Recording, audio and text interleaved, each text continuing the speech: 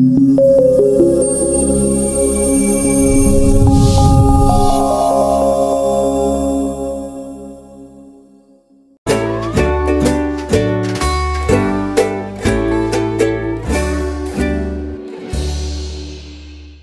Marta Garbatowska, dzień dobry. Jesteśmy nad Jeziorem Gałęźnym, a moim gościem jest dzisiaj pani Grażyna Greinke, dyrektor Powiatowej Stacji Sanitarno-Epidemiologicznej. Dzień dobry. Witam serdecznie.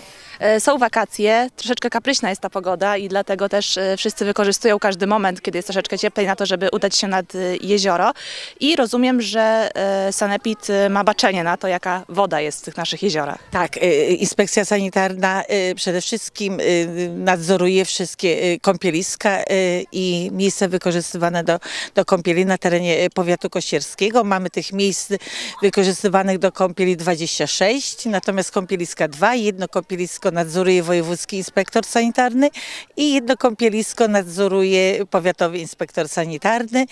Oczywiście wszystkie kąpieliska zostały przebadane. Zanim rozpoczął się sezon, tak, y, takie badanie odbywało się dwa tygodnie przed rozpoczęciem sezonu i powiatowy inspektor sanitarny wy, wydawał oceny o przydatności wody, wody do kąpieli na podstawie rozporządzenia ministra zdrowia odnośnie kąpielisk i miejsc wykorzystywanych do, kąpieli. I jak jest tutaj nad Jeziorem Gałęźnym? Czy tutaj możemy kąpać się bezpiecznie i bez obaw? Y, Jezioro Gałęźne jest miejscem wykorzystywanym y, do kąpieli. Y, Oczywiście przed sezonem zostało, y, została woda przebadana, kąpielisko zostało dopuszczone, y, miejsce wykorzystywane do kąpieli zostało dopuszczone do kąpieli. Zresztą w tablicy przy jeziorze bezpośrednio znajduje się ocena podpisana przez inspektora sanitarnego. Ta, na tej tablicy jest pełna informacja, że kto jest adres właściciela kąpieliska, jest kto, kto prowadzi nadzór i oczywiście ocena, która jest bardzo istotna, żeby ta ocena znalazła się y, y, właśnie w tym miejscu. Poza tym wszystkie oceny odnośnie miejsc wykorzystywanych do, do kąpieli i kąpielisk y, są na stronie inspektora sanitarnego, ale również właścicieli kąpielisk. A czy jest w naszym powiecie jakieś jezioro, które teraz nie przeszło tych testów, w których nie można się kąpać? Tak, wszystkie, wszystkie y, miejsca wykorzystywane do kąpieli kąpieliska zostały dopuszczone przed sezonem. Y, Niestety teraz i tak to się zdarza co roku, że na przełomie lipca i sierpnia, gdzie są sprzyjające warunki, zresztą jak się pierwszy dzień pojawiły po deszczach ciepło, to ja mówiłam, na pewno będzie zachwyt sinic i oczywiście jest. Y, Jest zachwyt y, sinicy, jest, mamy to na jeziorze Zagnanie, no jak co roku, właściwie co, ro, co roku y, jest ten zakwit w Wielkim Podlesiu na jeziorze Zagnania i w tym roku jest y, na jeziorach y, Skrzynki y, w Nowym, y, w, duż, y, w Nowym Karpnie.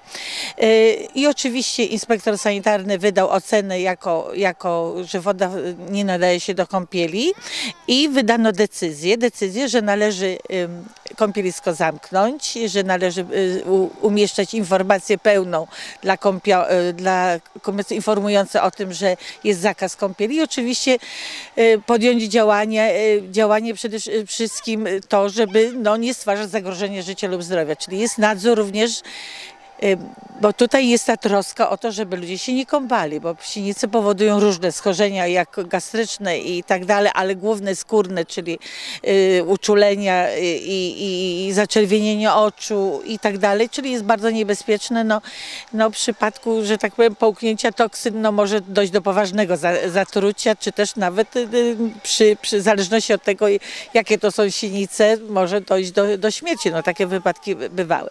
Czyli rozumiem, że kiedy sinice znikną, to też y, inspektorat y, powiadomi o tym, że już teraz to miejsce jest bezpieczne, można się tam kąpać. Jest to w gestii y, właściciela kąpieliska lub miejsca wykorzystywana, czyli y, bo musi być przeprowadzone badanie jeszcze potem, jak sinice znikną, musi być przeprowadzone badanie i musi się znaleźć na tablicy ogłoszeń w widocznym miejscu, że woda w, danym y, jeziorze jest zdatna do, kąp- do kąpieli. Jest to bardzo istotne, dlatego że my, społeczeństwo musi być też świadome, że, że tą informację można znaleźć. Można znaleźć na, na stronie inspekcji sanitarnej i na stronie y, również y, właściciela y, tego kąpieliska czy miejsca wykorzystywane do kąpieli, ale również przyjedzie nad jezioro i zobaczy, że jest tablica i w tablicy pisze, czy woda się nadaje do kąpieli, czy nie. Jest to, jest to bardzo, ważne, bardzo ważne. I no, jeziora to nie wszystko. Często też, e, zwłaszcza w tej pogodzie, chodzimy do lasu, bo widziałam, że jest bardzo dużo grzybów już w naszych e, okolicznych lasach, ale taka wizyta w lesie może skończyć się bardzo źle. Mówimy tutaj o kleszczach, których jest teraz bardzo dużo. Znaczy ja bardzo ubolewam na tę sytuację, że od roku właściwie 2012, gdy, gdzie przypadków boleriozy, którą zarejestrowaliśmy w, u nas w inspekcji w Kościerzynie było 12. W tej chwili jest miesiąc, początek sierpnia, minęło pół roku, e, więc no, praktycznie pół roku i mamy tych przypadków około 100. W ubiegłym roku było 112 przypadków. Rzeczywiście e, zagrożenie, zagrożenie ukąszeniem kleszczy jest, jest ogromne. Sprzyja na, na pewno temu ta wilgotna pogoda, że było tyle opadów i, i, i, i, i bardzo dużo, a poza tym Również e, media mówią o tym głośno, że z- jeśli chodzi o, o tą populację pajęczaków, i one są, jest coraz więcej ich jest e, skażonych. Jest bardzo dużo skażonych. Mówiło się wcześniej, że jest to około 20%, w tej chwili mówi się, że jest to 60-70%. Na pewno musimy się zabezpieczyć, zabezpieczać pójść, idąc do lasu, ubierać okrycie właśnie na nogi, na, na, na głowę, y, y, całość, żeby te miejsca, że tak powiem, odkryte y, zakrywać. Używać też różnego rodzaju y, środki chemiczne, opryskiwać siebie. No ale mimo to ludzi już ta świadomość wydaje mi się, że jest ogromna, a, a, a, a właściwie no, te przypadki tych bolerias y, mamy, bo to jest ludzie czasami no, w ogródkach w domu, na podwórkach, bo wi- wiem jak to wygląda z wywiadów. No niestety y, tego kleszcza gdzieś tam y, mają i, i, i, i rzeczywiście widać z tego, że skażenie jest ogromne, dlatego że tych przypadków jest bardzo dużo i one i wzrasta liczba y, z roku na rok. A co trzeba zrobić, jeżeli rzeczywiście, no mimo tych zabezpieczeń, zauważymy, że kleszcz się do nas przyczepił? Czy wtedy go natychmiast y, wyciągnąć, czy udać się do lekarza? Jeżeli, jeżeli to znaczy, y, y, trudno tutaj do końca radzić, bo nie wiadomo kto jakie ma umiejętności, ale jeżeli mamy w tym zakresie umiejętności, mamy sprzęt, to wyciągnąć, bo, bo do 24 godzin zakłada się, że do 24 on głównie pije, a, a, a zaczyna, że tak powiem, wydalać pluć do organizmu później. Jeżeli mamy takie umiejętności, wyciągnąć y, tego kleszcza, to no, znaczy najważniejsze jest po powrocie do domu zawsze w tym okresie letnim, teraz, bo uważam, że teraz bardzo dużo jest tych kleszczy, oglądać siebie i, i, i poprosić rodzinę, żeby obejrzali i wyciągnąć. E, Pani dyrektor, powiedzmy teraz o czymś bardziej przyjemnym, czyli o tym, że w naszym powiecie jest dużo miejsc, w których można wypoczywać, spędzać e, wakacje i te takie zorganizowane formy również kontroluje inspekcja.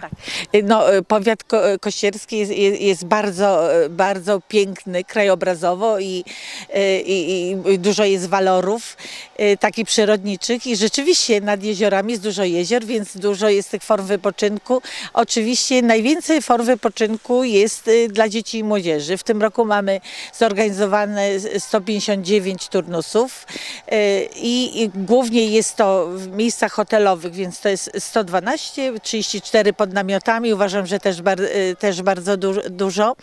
Y, No, te obiekty no, musimy skontrolować. W okresie letnim staramy się na każdy turnus y, dotrzeć. Y, Przede wszystkim no, to są dzieci i młodzież. I tu uważam, że y, powinniśmy, zresztą tak to robimy, otaczamy ogromną troską te warunki higieniczno-sanitarne. Jak to powinno wyglądać? Więc przede wszystkim y, y, nadzorujemy, czy też kontrolujemy y, formy żywienia, jak, jak wygląda żywienie i oczywiście warunki mieszkalne dla tej dzieci i młodzieży. Także myślę, że, że, że jest, no i dlatego ważne jest to, żeby woda w kąpieliskach była dobra. Ważne, żeby to żywienie było prawidłowe. Ważne było, aby, aby próbki pokarmowe, bo to jest forma żywienia zamkniętego, były odkładane, że zawsze mamy możliwość, jaki produkt spowodował na przykład zatrucie. Y, Zawsze bardzo mi się podoba i zawsze to podkreślam, że, podkreślam, że formy wypoczynku pod namiotami organizowane przez harcerzy są zawsze bardzo dobrze przygotowane. Żywność jest na bieżąco przywożona.